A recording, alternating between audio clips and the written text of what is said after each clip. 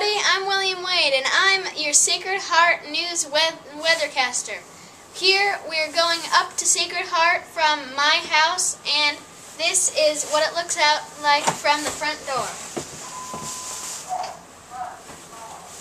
It's I don't know if you can see it, but through these holes in the break, there's snow coming down.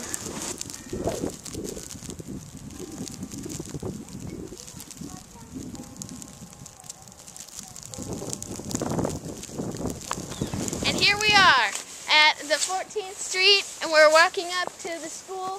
This is, uh, you can see that, I don't know if you can see that, but there's the dumpster. And here we are. Uh, we're almost up to the stairs. I don't know if you can see, but here's the soccer field, not a footstep on it. And it looks like some, no, not barely any cars have been driving past this point because there's been a big plow up here and it stopped right there. Along there's no lot there's foot there's foot marks over here, but there's no driving marks. So you know if you want to go sledding, here would be a good place. Hey, here we are at Sacred Heart. As you can see, there is plenty of snow. There's been some cars up here, but not too many.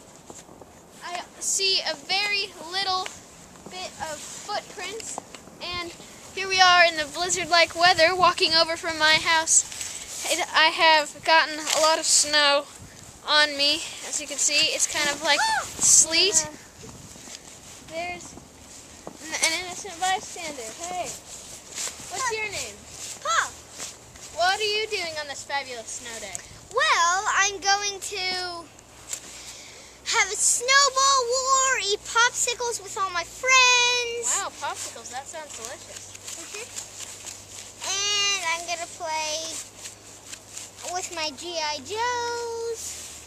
And I'm going to play apples to apples. A lot of things. Well, thank you a lot, and we'll be and we'll be back in approximately two hours. Thank you.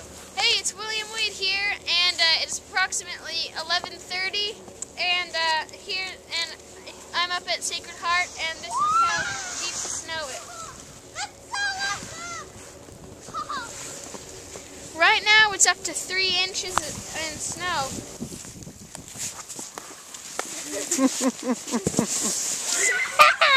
Okay, it's my turn.